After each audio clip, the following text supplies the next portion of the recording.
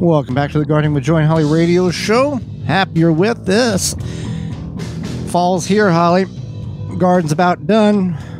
Watering has been an issue for many gardeners throughout not this year, but years and years because we forgot, said we won't forget. We fuck, we did forget. Tree diaper takes the guesswork out of it. Absolutely. If your plants could talk or could t- could have talked, they may have said that you know maybe they weren't being properly watered, either too much, too little. How do you water properly? You can take the guesswork out by using the tree diaper. Tree diaper is a revolutionary way to water your plants that stabilizes soil moisture by taking up excess water and slowly releases it when the plants need it. The tree diaper is filled with water from the rain or when you water and slowly releases water over three weeks. No pipes, hoses, or electricity needed. Whether you're a first time gardener or advanced tree diaper will improve the way you water your plants. Made in the USA, you can find out all the sizes they have available at treediaper.com. That is treediaper.com.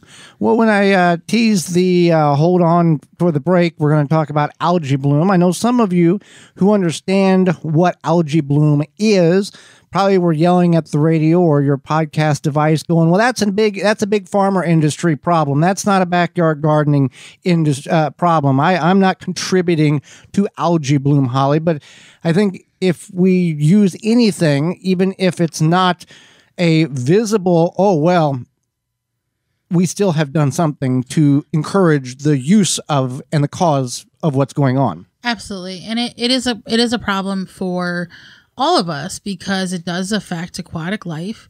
And it also it's not sightly to look at. Joey and i were visiting his family and we stopped at the uh what was that? The city lake. The city lake and i said look at all this algae bloom and that's what inspired yeah, this that's what topic inspired here this topic. Yeah. and it, it took away from the beauty of that park the park was a very nice park and and the algae bloom was just like ugh. So, so, yeah. what is algae bloom? And, and let's get to the point of why does it exist, or what's causing it to exist? Sure. So algae bloom, you you kind of probably have seen it. It looks like this green, um, like a, a light green murkiness just floating on the top of the water, usually near like a shoreline of some sort, whether it be a lake or um, even the ocean. But a lot of times it ends up in like the, the bay areas. So just along the shoreline, kind of. And what happens is that it can look like a foam or a scum. And it's sometimes it's different colors, but up around here it's usually about greenish.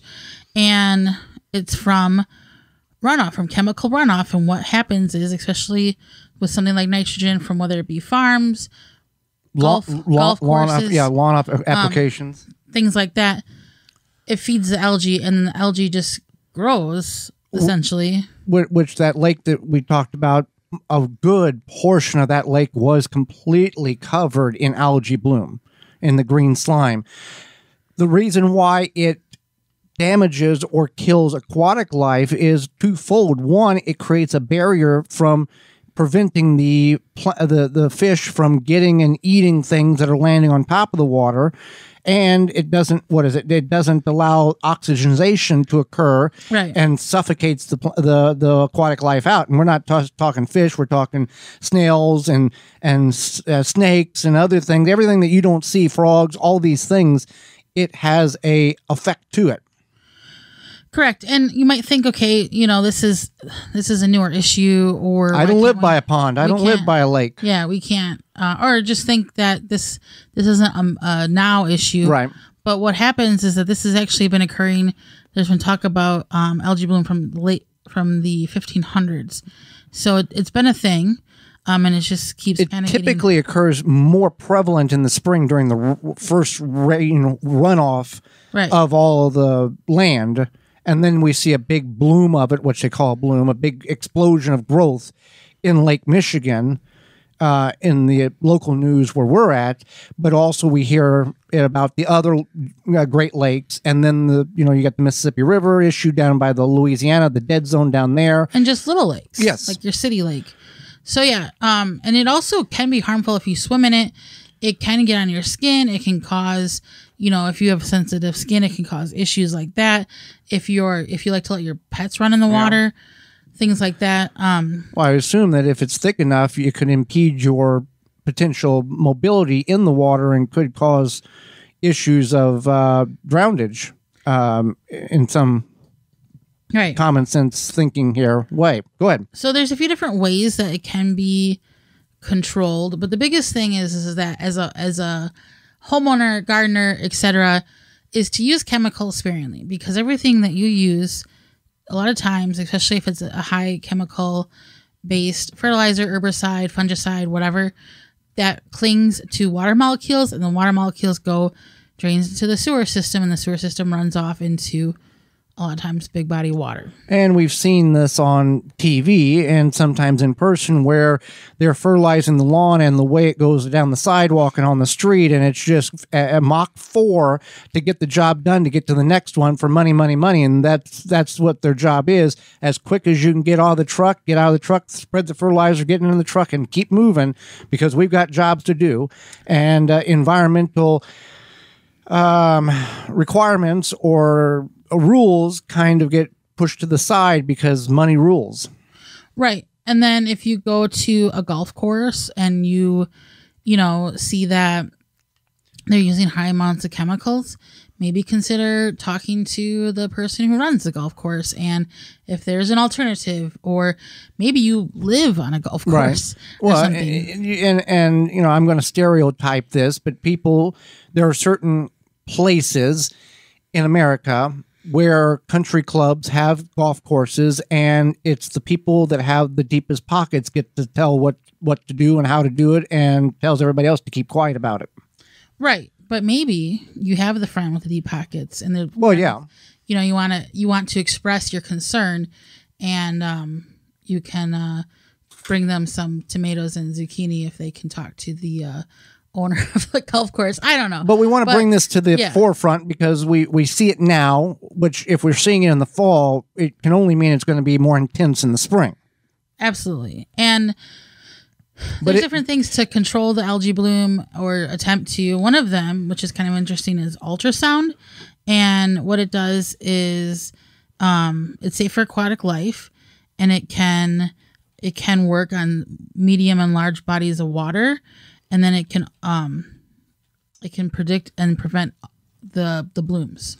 And there has there are um, organic me organic products in which you can it's a powder you can spray or hand sprinkle that will kill the algae bloom as well. Okay. Um, so that's that's an option too. Um, but also that you know you're you're using something an organic it's still a chemical. Even though it's organic it's still a chemical. That's just the way the, the makeup of it is. It doesn't when it's organic it doesn't have the severity of some of the non-organic chemicals. Um, so your your problem is caused by a. So you're using product b to fix problem a. There's still a problem. Right. And that's you know all of this uh, any solution is either going to have you know advantages disadvantages going to take time space money resources what have you. And so yes there are options. There's like aerating the the body of water. Um, there's things of like swirling the water effectively just just because like if you a lot of times in the ocean it's in the Gulf areas. It's in the areas where the, the water's stagnant, more stagnant, stagnant, yeah. right? So have ag- agitation, have um, something that will aerate the soil, uh, aerate the soil, aerate the water to get oxygen in there. So the the premise or the basis is algae bloom, algae bloom occurs because of an abundance of nitrogen, either in liquid form or granular, that has attached itself to water and then found itself into some form of a basin, river, or pond or lake. And then it's settled to the bottom and then it's done its chemical thing and caused the algae bloom, the excessive nitrogen to feed the, uh, the, the stuff that's in the water and create this green slime that's on top. Right. And again, I think the biggest thing here is to be be mindful about what you yourself are doing, your impact. There's instructions for a reason. Right. Um, so if you are adding something to your grass, soil, lawn, whatever, think about, you know, oh, more is better. No, you want to you want to follow the instructions, you want to be mindful. Well goodness, more is not better now because it's twice as much three times as much now so you got to cut back twice half as much as you're going to use just to get by right and just just like you know joey and i enjoy living in harmony with our ecosystem um, you can do the same and you can be mindful of your impact as how it literally like runs down the road into the sewer. So um, that is algae bloom, what causes it, why it happens, and some things in which we can do to limit the effects of the uh, products in which we use. Well, Holly, night times uh, getting colder. Days are getting day length is getting shorter. Not the day. The day is still 24 hours. It's just getting darker sooner because of things are adjusting the way the Earth tilts. People often say, "Oh, days are getting shorter." As far as I know, they were still 24 hours. They mean daylight. I know you you you didn't describe it very well the other day. Whenever you said days are getting shorter, no, still 24 hours in a day.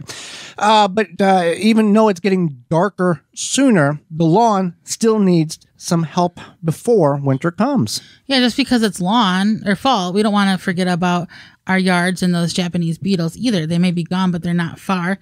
They feasted on your roses and berries this summer. They laid eggs on your turf so that they can start again next year.